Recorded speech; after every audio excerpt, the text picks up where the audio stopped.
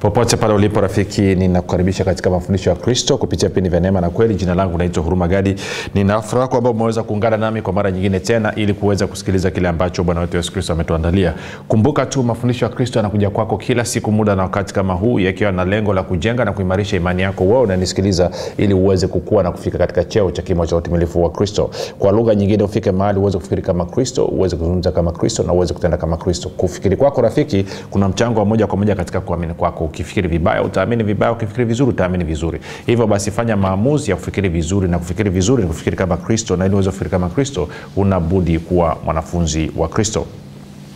Tunaendelea na somo letu nalosema uh, mwana wa mungu au mtumwa wa shetani. Uh, na leo nataka tupige kambi kidogo tuzungumzie mambo kadha wa kadha kwa sababu nimeleta nime, nime nimeweza kaa vipindi vitatu sasa eh, kipindi cha leo na vingine vile vinavyokuja. Nataka nihitimishe ili jambo lakini nataka niku, nikuache katika mahali ambapo utakuwa unauelewa sahihi. Nikuache mahali ambapo utakuwa una ufahamu sahihi.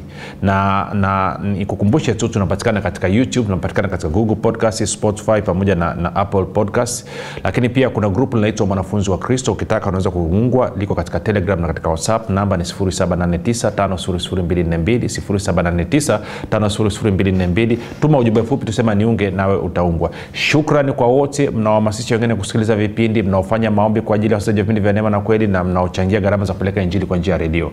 Pia karibu wewe ambayo umejiunga kwa mara ya kwanza siku ya leo ninaamini roho ana mambo mazuri ya kusema na wewe. Baada ya kusema hayo uh, nataka tuendelee na somo letu moja kwa moja bila kupoteza wakati.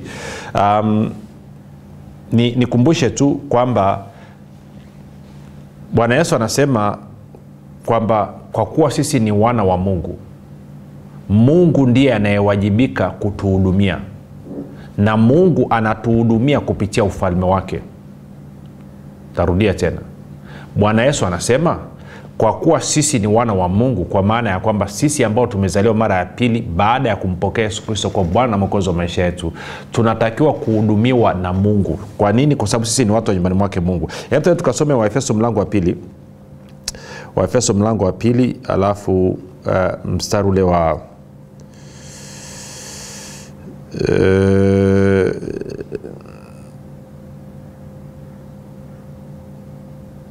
nianze mstari wa 13 kwa ajili ya kuokoa muda. Tutasoma mpaka mstari wa 19 of course kabla hapa alikuwa anazungumza kwamba zamani ulikuwa mna kristo lakini mstari wa 13 anasema lakini sasa katika kristo yesu ninyi mliokuwa mbali hapo kwanza mmekuwa karibu kwa damu ya kristo.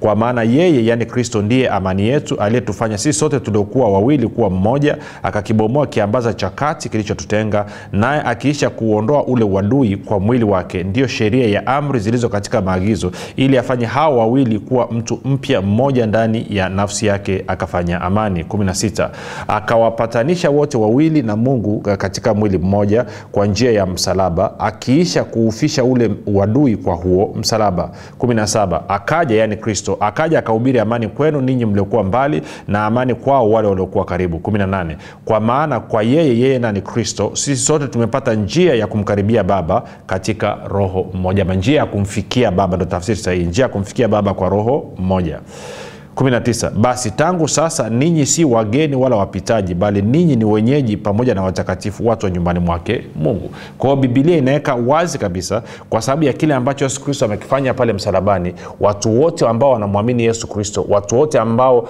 wamemkubali yesu kristo kama bwana mwokozi wa maisha yao wana uhusiano na mungu na wao ni watu wa nyumbani mwake mungu ni wanafamilia na kwa kuwa basi sisi ni wanafamilia wa mungu anayewajibika kututunza na kutuhudumia ni mungu mwenyewe.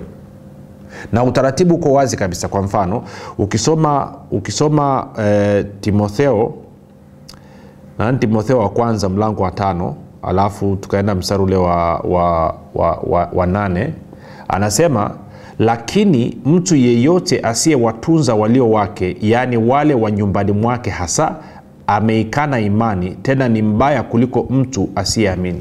Kwa anasema mtu yeyote asiyetunza nyumbani kwake sio tu kwamba ameikana imani ni mbaya kuliko watu wasioamini. Kwao haiwezekani mungu atuwekee shinikizo hili ama atuwekee e, angalizo hili la kuhudumia familia zetu na atuambie kwamba tusipoangalia familia zetu tumeikana imani na hatuna tofauti ni wabaya kuliko watu wasioamini. Alafu na yeye mwenyewe kama baba ambaye sisi ni sehemu ya familia yake asituangalie Una, unaelewa nachokizungumza rafiki? Haiwezekani. Haiwezekani. Na ndio maana bwana yesu akatuambia baba yenu matayo 6 mstari wa 7 na 8 anajua mnayoyahitaji kabla hamjamwomba. Katika matayo 6 32 akasema baba yenu anajua kwamba mnahitaji hayo yote. Lakini jishughulisheni kwanza na ufalme wa mungu na haki yake. Sasa sijui kitu kigumu ni kipi hmm? kitu kigumu hapa ni kipi? Ni, ni, ni, kwa sababu siku tunaenda na teknolojia ni kama uwe kwenye simu yako either wewe ni wa vodacom ama sijui ni wa tigo ama ni wa airtel ama ni wa nini. Una mpesa ama tigo pesa ama Airtel airtelimane ama sijui halopesa ama sijui ile nyingine inaitwa nini? Tipesa sijui TCL sijui inaitwa nini sawa? Umeambiwa ili uweze kuangalia salio ama uweze kutoa pesa zilizoko katika akaunti yako ni lazima uwe na neno la siri. Alafu wewe hutaki kutumia neno la siri unataka hela.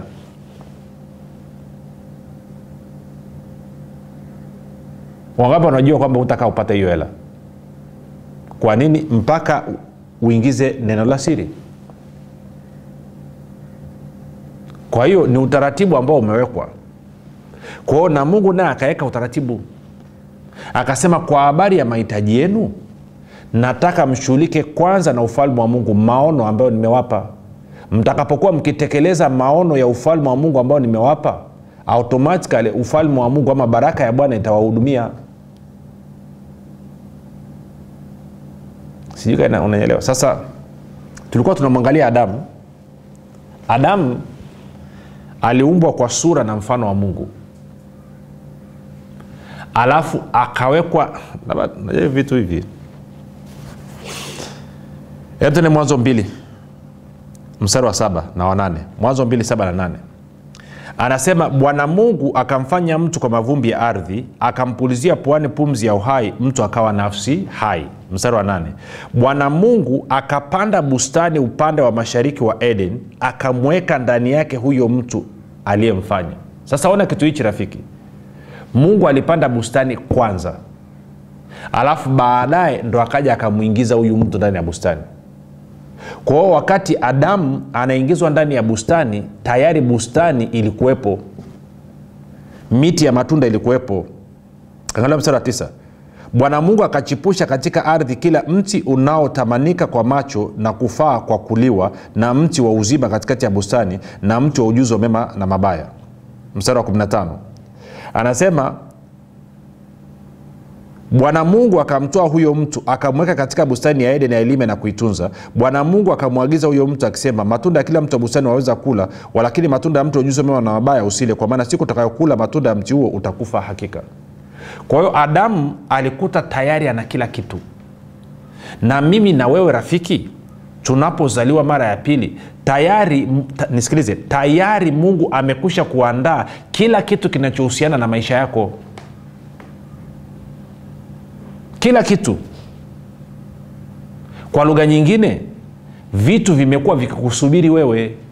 Sio wewe unayesubiri mungu akupe vitu.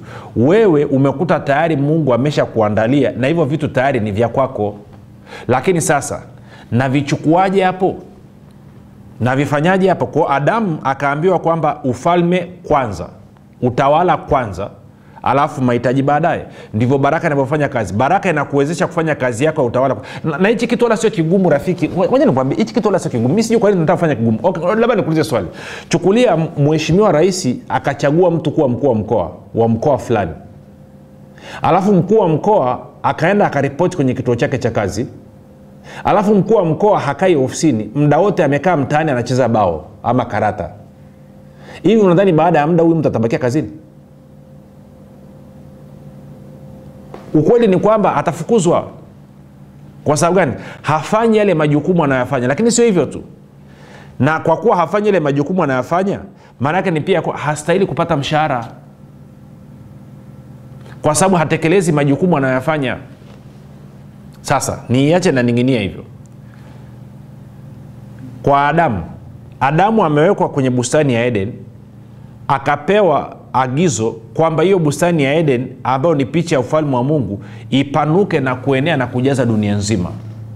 Kama vile ambavyo mimi na wewe tumeagizwa na yesu kristo kwamba ufalme wa mungu uenee na kujaza dunia nzima. Adamu akaambiwa kwa habari ya mahitaji yako kila kitu ni cha kwako isipokuwa mti wa ujuzi wa mema na mabaya. Then adamu tunaona katika mlango wa tatu of course akishirikiana na mke wake ibilisi anawarubuni anawaambia mkila matunda ya mti wa ujuzi wa mema na mabaya mtakuwa kama mungu. Kwa hiyo adamu na eva wameingiziwa tamaa ya kutaka kuwa kama mungu na inawezekana kwenye akili yao walikuwa wanawaza kwamba tukiwa kama mungu hatuhitaji kumtegemea mungu. Tuna uwezo wa kujitegemea wenyewe. Na kwa maana hiyo dhambi ya adamu ama uwasi wa adamu ni maamuzi yake ya kukataa kumtegemea mungu na kuamua kujitegemea yeye mwenyewe. Ndio maana alitaka awe kama mungu ili asimtegemee mungu ajitegemee yeye mwenyewe. Na kitendo cha yeye kutaka kujitegemea yeye mwenyewe maanake ni kwamba kinampa uhuru sasa asitekeleze maagizo ya mungu ambayo nini? Ni kuhakikisha kwamba ufalme wa mungu unatawala unasambaa na kujaza dunia nzima. Sasa swali ni hili. Je inawezekana mimi na wewe leo hii tunarudia makosa yale yale ambayo adamu aliyafanya. Kwamba hatutaki kumtegemea mungu tunataka kujitegemea wenyewe. Okay. Nilikuambia mwana anamtegemea baba yake. Mtumwa ama mfanyakazi anategemea kazi yake kwa lugha nyingine tungesema mfanyakazi anategemea kazi ya mikono yake na mwana anamtegemea baba yake.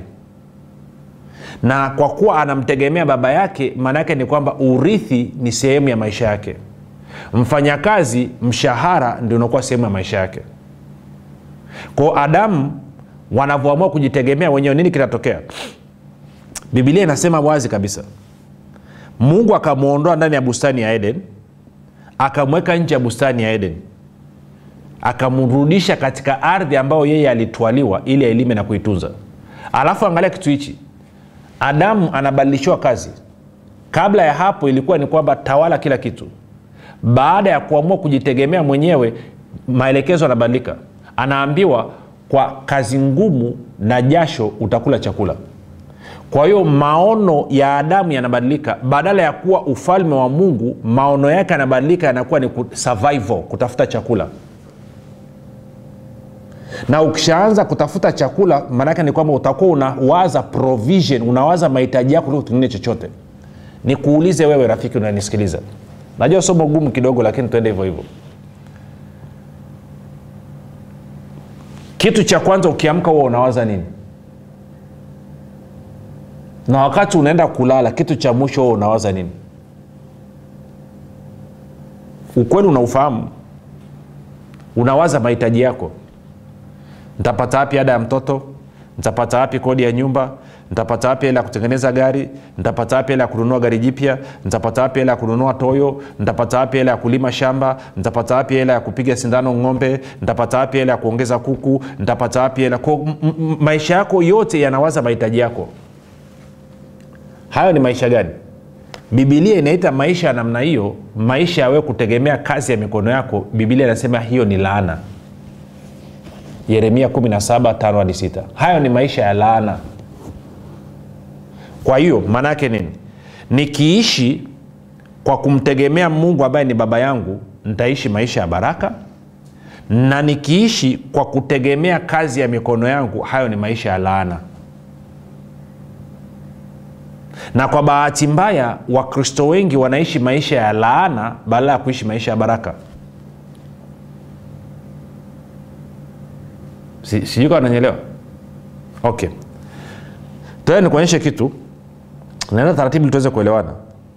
Wale wanataka kupona watapona. Wale ambao wataki kupona hawatapona. Na haina shida. Mbingu ilitengenezwa kwa ajili ya wanadamu jehanamu ilitengenezwa kwa ajili ya ibilisi na mapepo yake lakini kuna binadamu wameamua kwenda jehanamu.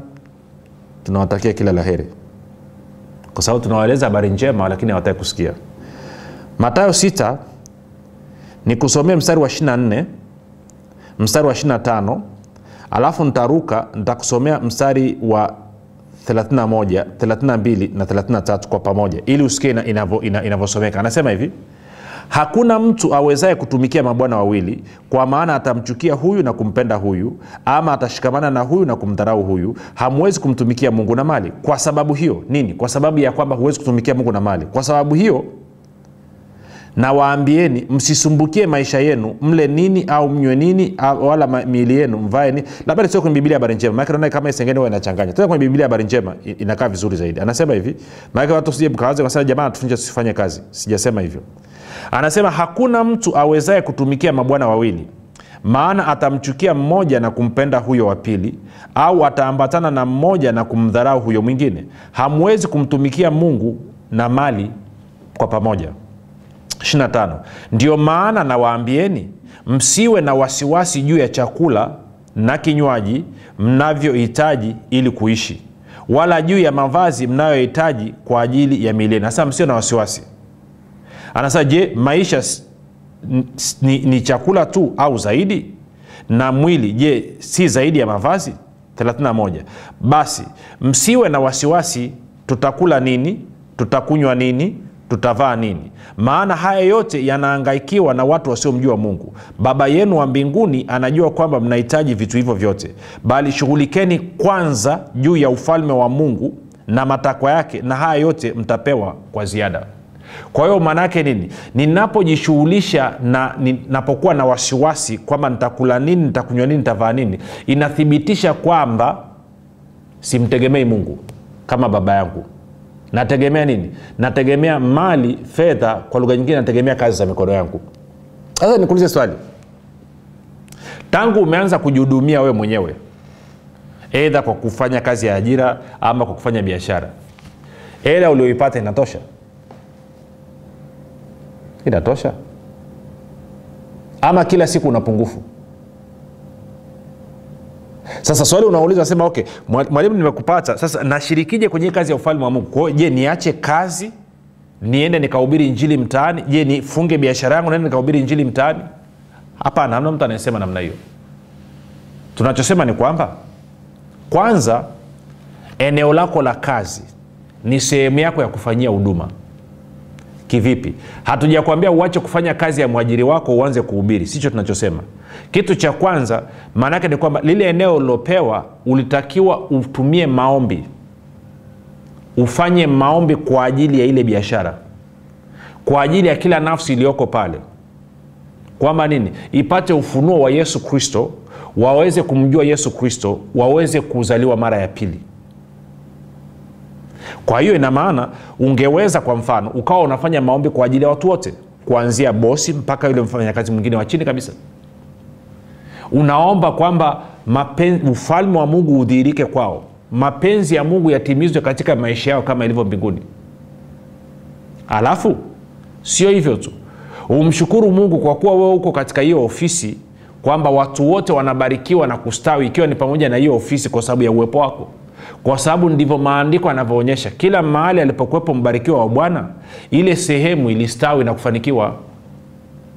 Lakini pia uwaambie jamani kuna vipindi vinaitwa vya neema na kweli. Kuna mafundisho ya kristo yanapatikana. Nikupe linki ya kwenye whatsapp ama nikupe linki ya kwenye telegram ama nenda kwenye youtube ukaangalie ama ufungua redio saa tatu kamili usiku usikilize. Ndo kazi yako litakiwa iwe hivyo. Na kwamba huyo unayemshirikisha unamshirikisha wakati gani? Eidha mkiwa breki ama mkiwa mmetoka kazini ama mkiwa mnaelekea kazini ama wikendi unaenda kumtembelea unamsalimia unamshirikisha habari njema. Ndicho ambacho mungu alitarajia kwamba kwa sababu wewe ni chumvi. Unanyelea rafiki nachokizungumza kwenye biashara yako ingeweza ikawa hivyo hivyo wale wateja wanaokuja ambao mmezoeana unatakiwa uanze kuwaombea wateja wako wote. Sio tu unaomba waje kununua tu lakini uombe pia kwamba wakutane na kweli ya kristo. Unaanza kufanya maombi kwamba wamjue yesu kristo waweze kuelewa habari za ufalme wa mungu. Macho ya mioyo yao yatiwe nuru. Unafanya intercession una kwa ajili yao. Unafanya maombi kwa ajili yao na kwa maana hiyo unaambia mungu nieleze habari za huyu ndugu niambie leo unajua unataka kumbariki nieleze habari ya mtu yote. Mungu angeanza kusema na wewe angeanza kukupa neno la maarifa angeanza kukupa neno la hekima angeanza kukupa ku, nani kupambanua roho ili uweze kuwasaidia wateja wako wanaokuja. Lakini sio hivyo tu. Pia kwa yule ambaye umeshatengeneza urafiki umetengeneza mazingira um, uanze kumshawishi kwa kuwa umeshamwombea sasa uanze kumshawishi usikiliza nani mafundisho ya kristo mwambie asikilize vipindi vya neema na kweli. Mwambie mpeleke dha kwenye grupu la, la mwambie kuna grupu lina mafundisho mazuri nataka nikuunge. Ama ama ama kusikiliza kwenye nini kipindi kwenye redio ama naenda kwenye youtube na kadhalika. Ndivyo ambavyo ulitakiwa ufanye hivyo. Ukifanya hivyo unakuwa umefanya ufalme wa mungu kwanza. Na kwa maana hiyo sasa sio tu kwamba baraka ya bwana itakuwezesha kufanya hiyo kazi ya ufalme lakini pia itaanza kuleta mahitaji yako. Tunakwenda sawasawa rafiki? Sijui kwa ananyelewa kwao ndo maana anasema kwamba wewe umeitwa uwe baraka haujaitwa ujitegemee adamu alijaribu kujitegemea akaishi kwenye maisha ya laana. Na wewe kwa kuwa umejaribu kujitegemea unaishi kwenye maisha ya laana bila kujijua. Na kwa maanao unaishi kama mtumwa wa shetani badala ya kuishi kama mwana wa mungu ambaye anamiliki vitu vyote. Lakini haishii hapo tu. Kwamba sio hivyo tu. Ungekuwa pia ukifanya na maombi kwa ajili ya, ya, ya watendakazi kama sisi ambao tuko tunafanya kazi ya huduma full time. Tuombeeni tunahitaji maombi yenu hiyo ndo nafasi yenu. Lakini pia weekend una ndugu jamaa na marafiki naenda kawashuhudie. Unawezaje ukamaliza mwezi mzima hujashuhudia mtu hata mmoja? Hivi huoni aibu? Wewe mkristo wa namna gani? Mkristo gani usiyeshuhudia watu wengine habari za yesu? Mkristo gani usiwashirikisha wengine kile ambacho unakiamini? Wewe ukweje yani? Yani, yani wewe ni mkristo wa namna gani yani? Eh? Paulo anasema nani paulo ama petro anasema tuwe tayari kuwaeleza watu tumaini tulilonalo tusione aibu tuwe na ujasiri. Kwa nini wewe ni mkristo umeokoka umezaliwa mara ya pili unaogopa kushea imani yako unaogopa kuwashirikisha wengine? Wewe ni mkristo namna gani? Kiasi kwamba hata ukikamatwa leo hii kwa tuhuma za kuwa mkristo hakuna ushahidi wowote lazima uachiliwe huru. Lakini aishie hapo tu. Hebu nikuulize kwa mapato yako unashiriki vipi katika kuhakikisha kwamba injili ya mungu inasonga mbele? Habari njema za ufalme wa mungu zinasonga mbele? Nikuulize swali utoshelevu wako ni nani? Utoshelevu wako ni mungu ama utoshelevu wako ni huo mshahara wako? Utoshelevu wako ni mungu ama utoshelevu wako ni hiyo faida unayoipata? Kuna wengine mko radhi mungu achukuliwe na yesu achukuliwe aondolewe katika maisha yenu lakini sio kazi yenu. Yaani ukimpoteza mungu utapaniki lakini ukipoteza kazi yako unaalia tunaja kutembelea hospitali. Nikuulize swali hili. Leo hii ungepoteza kazi ama ungepoteza biashara bado una uwezo wa kuwa jasiri ukatabasamu ukasema kwa kuwa ninaye mungu ambaye ndiye chanzo cha vitu vyote hakuna shida nitapata kazi nyingine nitapata biashara nyingine ama utalia utafanya vurugu tuje tukutembelea hospitali ama magereza? Swali. Kwa kiasi gani unajitambua kuwa wewe ni mwana wa mungu? Kwa kiasi gani unajitambua kwamba wewe ni sehemu ya familia ya mungu na biashara ya familia ya mungu ni biashara ya ufalme wa mungu na kwa maanao wewe kama mwanafamilia ulitakiwa ujishughulishe zaidi kwa bidii zaidi kuhakikisha biashara ya familia ambayo ni ufalme wa mungu kusonga mbele inafanyika kwa ufanisi wa hali ya juu inafanikiwa na kustawi kuliko wale wa mshahara.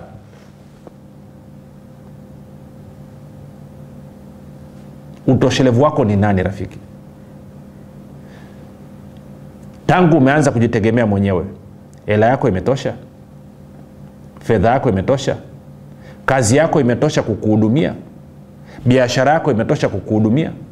Ama bado uko kwenye upungufu.